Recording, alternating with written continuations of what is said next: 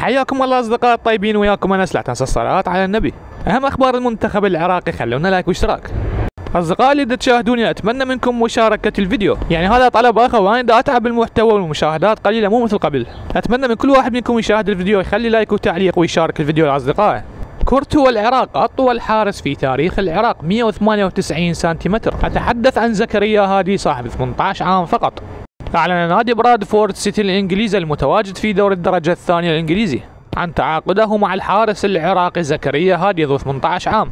الحارس يمتلك طول فارع 198 سنتيمتر.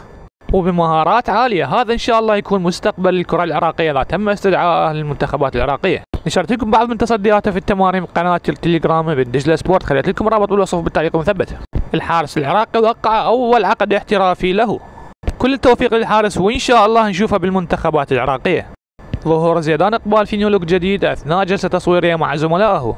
خليل البلوشي يرد على أحد المعلقين العراقيين الذين وصف المعلق الخليجي بأنه لا يفقه شيء في كرة القدم قائلا. خليل يقول تشرفت بدعوة من الإخوان في قناة العراقية الرياضية للتعليق على الكلاسيكو. تواجدنا بالتعليق على الكلاسيكو لا يعني أننا أفضل من المعلق العراقي. ولا يعني أننا نمتلك حضور وثقافة أكبر منه لكن الإخوان والمسؤولين على الكرة العراقية يريدون تسويق المنتج العراقي على المستوى الخارجي ونقل صورة أفضل عن العراق وعن شعبها. الذي يستحق ذلك وقد لبينا الدعوة بحب. تقبلون فيما بينكم أهلنا وحبايبنا في العراق.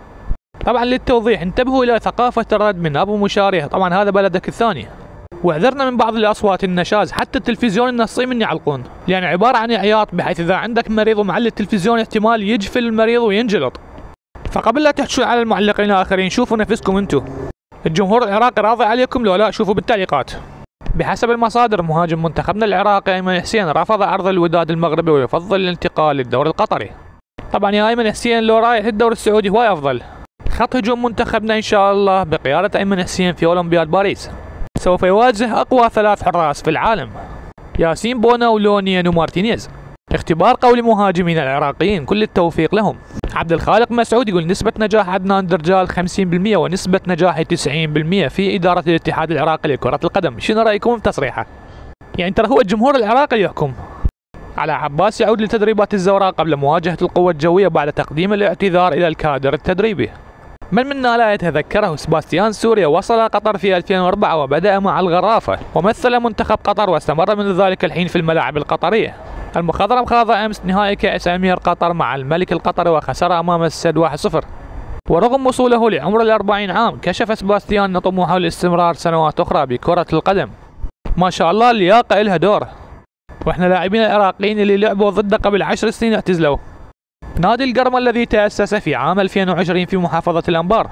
صنع لنفسه اسما سريعا في الرياضة العراقية يتصدر الآن الدور الممتاز ويقترب من التأهل لدور المحترفين حيث أن ملابس الفريق أصلية بكل أصنافها قمصان اللعب والسفر والخروج تحمل نفس العلامة وهي علامة كيلمي.